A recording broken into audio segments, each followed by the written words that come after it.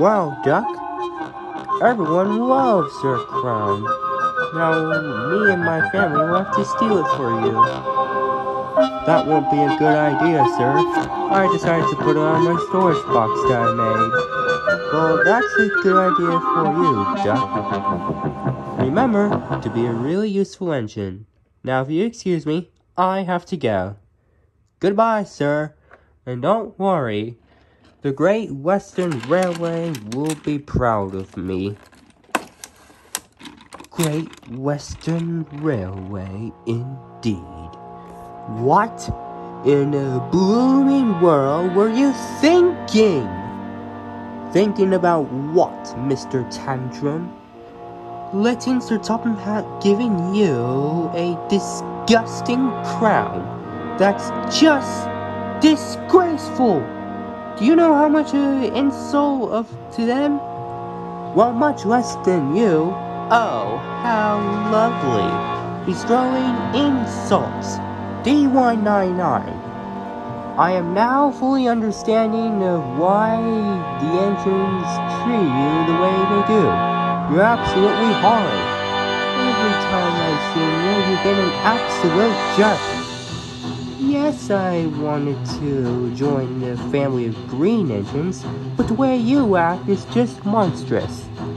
You're selfish, arrogant, and the rudest diesel I have ever met.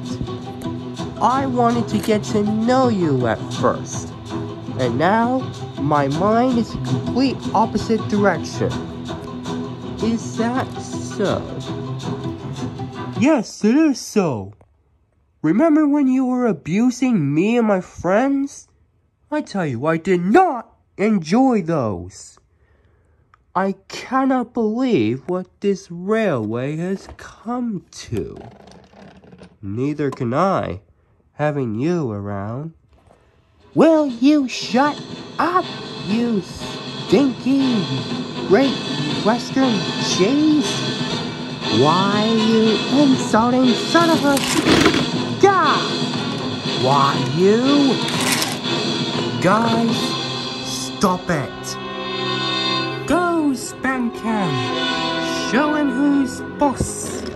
What is going on here?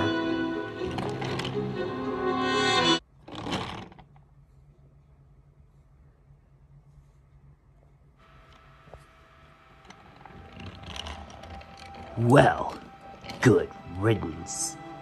Be quiet and get out of here. Duck, I'm very disappointed with your behavior today.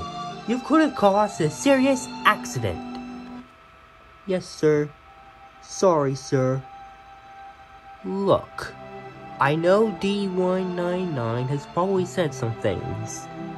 But still, you should know better than to biff other engines around. Yes, sir. Sorry, sir. You are forgiven this time, but don't let it happen again. Understood? Yes, sir.